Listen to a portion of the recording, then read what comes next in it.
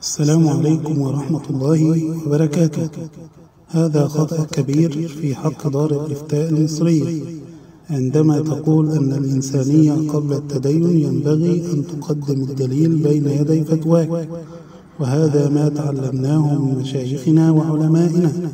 كان يجب قبل أن يقوموا بنشر هذا البوست بتقديم الدليل أولا لأن هناك الملايين الذين يتابعون هذه الصفحة وهذا من باب احترام القارئ والمتابع. لأن ما تعلمناه من مشايخنا وعلمائنا في الأزهر الشريف يخالف هذا القول. فنقول وبالله التوفيق أن الدين قبل كل شيء فإنه لن ينفعك لو أنفقت ملء الأرض ذهبا وكنت على غير الإسلام فلن ينفعك ذلك ولن يقبل منك درهما واحدا الإسلام أولا ثم الإنسانية